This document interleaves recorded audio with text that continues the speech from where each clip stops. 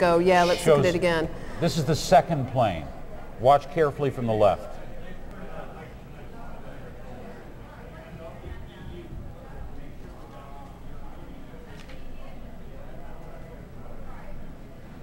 That plane hitting the World Trade Center about 20 minutes after the first one. The first one hit just shortly before 9 o'clock, about 10 minutes to. Again, that's a reverse angle, one that we've not seen you, before. And you looked, and earlier we could hear the sounds of the people in Battery Park looking onto this, screaming, uh, just seeing more of this horror unfolding in their city that led to the destruction of a landmark of New York this day and perhaps has forever changed the way Americans are going to look at whether or not they are isolated from the issue of terrorism.